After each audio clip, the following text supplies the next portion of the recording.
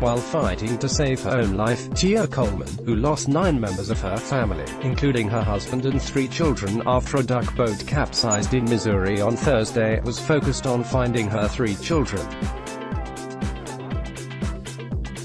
During a press conference on Saturday at Cox Medical Center Branson, where Tia has been hospitalized since the tragedy, the survivor recounted what was going through her mind when water started filling up the boat. I've always loved water. I don't know if it's a Pisces or what, I've always loved water. But when that water came over the boat, I didn't know what happened. Tia recalled, according to CNN. I had my son right next to me. But when the water filled up the boat, I could no longer see. I couldn't feel anybody, I couldn't see, I just remember, I gotta get out, I gotta get out. After being plunged towards the bottom of Table Rock Lake, Tia struggled to reach the water's surface. And as I was swimming up, I was praying, she explained.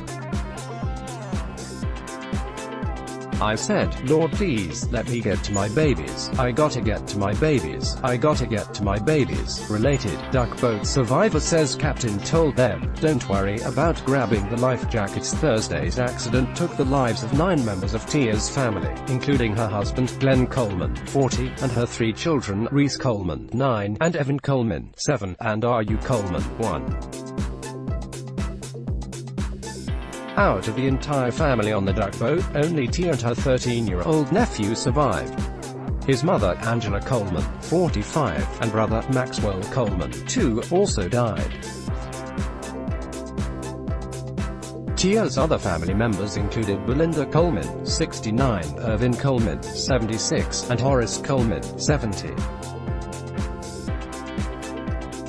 Related video. Video shows final moments before tourist duck boat capsizes during the press conference on Saturday. Tia spoke briefly about her late children. She described her eldest son Reece, who was autistic, as being the happiest, sweetest boy you'd ever met. USA Today reported.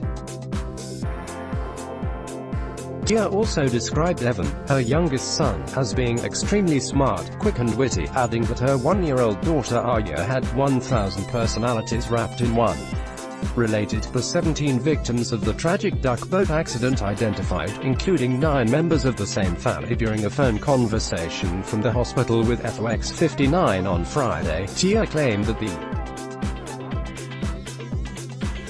captain of the duck boat, had told us don't worry about grabbing the life jackets, you won't need them. So nobody grabbed them because we listened to the captain as he told us the safety rules, she continued, adding that she believed a lot of people could have been spared if they had been properly prepared. During the press conference on Saturday, Coleman doubled down on her claim. I felt like, if I was able to get a life jacket, I could have saved my babies because they could have at least floated up to the top and somebody could have grabbed them. Tia remarked, according to CNN. Going home, I already know is gonna be completely, completely difficult. I don't know how I'm going to do it. Since I've had a home, it's always been filled with little feet and laughter. My husband, Tia tearfully said during the press conference. I don't know how I'm gonna do it.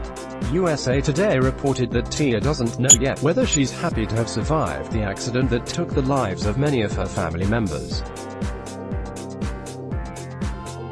There's no way I should be here, she said, according to the outlet. The only thing I can think of is that God must have something for me, she added.